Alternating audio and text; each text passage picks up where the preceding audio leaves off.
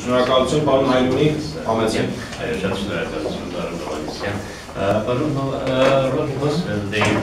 անունը հայ հասարակայնությանը եւ պատմաբանների հայտնի դարձավ դեռ 10 տարի առաջ, երբ նա հրատարակեց Նեմեսիսի օպերացիան գիրքը,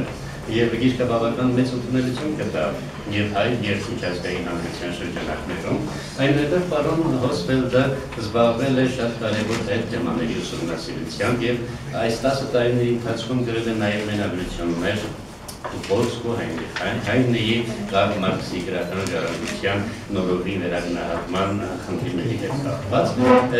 եւ 2011 թվականին իրեն հանձնվեց Լեպսիուսի տան տնօրինությունը, Լեպսիուսի տունը, որը շատ կարևոր կառույց է հայ գերմանական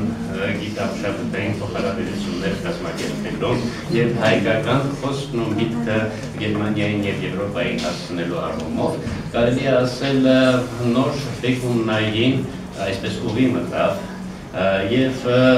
2011 թվականից երբ պարոն Հոսվելդը այդ տան տնօրինությունն է իրականացնում, կազմակերպվել են բացառիկ կարևորության մեծ քանակությամբ միջոցառումներ, որոնք չեն սահմանափակվում միայն գիտամշակութային հանդիպումներով,